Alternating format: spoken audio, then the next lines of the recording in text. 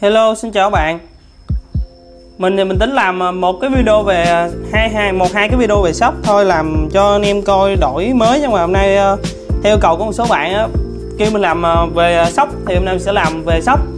Đó, thì mình sẽ giới thiệu cho lại cho anh em đây là bé sóc tổn của mình. Đó. Mình đã giới thiệu bé sóc này cái đây khoảng chừng một hay 2 tháng gì đó. Thì lúc đó nó còn nhỏ lắm.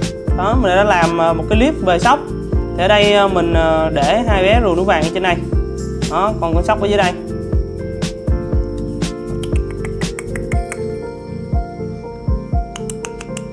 Đó. Bé này là bé tủn nha các bạn. Đó, bé tủn của mình. Mình đặt tên nó là tủn. Nó nó là giống ờ, sóc bông sóc bông dạ cam của Việt Nam mình. Thì loài sóc này á, nó rất là khôn. Đó. Loài sóc này rất là khôn nó đạt kích thước rất là lớn. Sau này nó có thể nặng tới ờ, hơn nửa ký. Mình ờ, nghe nói là vậy.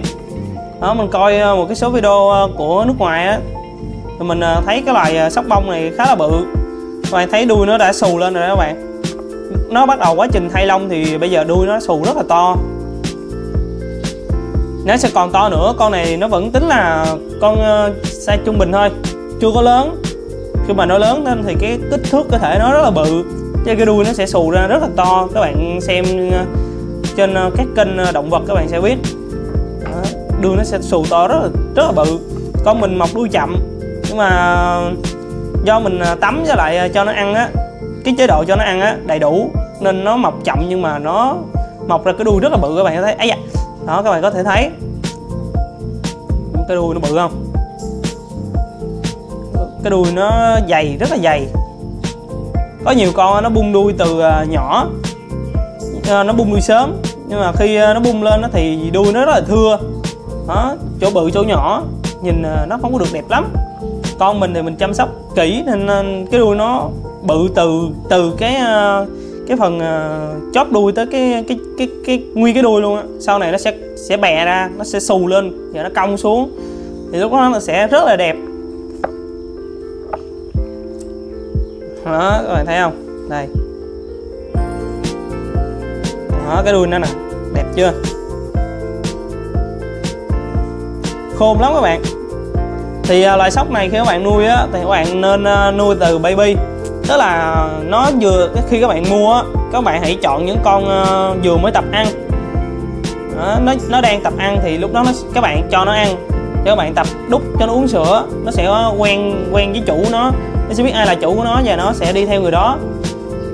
Như ờ, con của mình á, là ở nhà này chỉ có mình mình đụng được nó thôi. Đó, là là người duy nhất đụng được nó, cũng như là người duy nhất nó đi theo mà không bị nó cắn. Còn ờ, lại là từ ba mẹ với em của mình là bị nó cắn hết rồi các bạn. Bữa nó cắn mẹ mình mẹ mình điên quá mém chút nữa là đuổi nó ra khỏi nhà luôn rồi. Nó cào rất là đau, cái loài sóc bông này á, thì cái tay của nó rất là, có những cái móng rất là sắc nhọn. Nó cào một phát là phải nói là đau cực kỳ luôn các bạn. Nếu bạn chơi với nó thì hãy lưu ý cái ờ, vấn đề mà móng cho nó. Mình khuyên các bạn là không nên cắt móng. Đó, tại vì khi các bạn cắt móng á, thì ờ, móng sau sẽ nhọn và bén hơn móng trước. Đó, khi nó mọc lại á điều này gây ra một số cái bất lợi. Khi nuôi cái loài này á thì mình set up cái ờ, chuồng sao cho nó bự bự ra một xíu. Đó, ở trong có đám mày răng với lại uh, mấy cái cây cho nó leo. Thì tí nữa mình sẽ quay cái chuồng nó kỹ hơn cho bạn xem. Đây cái góc này là góc uh, ờ, cận cảnh nhất cái đuôi uh, vĩ đại của nó.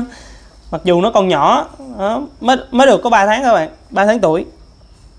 Tuổi thọ trung bình uh, của loài này thì uh, mình coi ở trên uh, mạng á. Mình tham khảo mạng còn ở thực tế thì mình không biết nha thì nó ghi là cỡ ờ, sáu bảy năm gì đó. Cũng ờ, thọ nhất trong, cũng khá là thọ trong cái ờ, loại gặm nhấm rồi.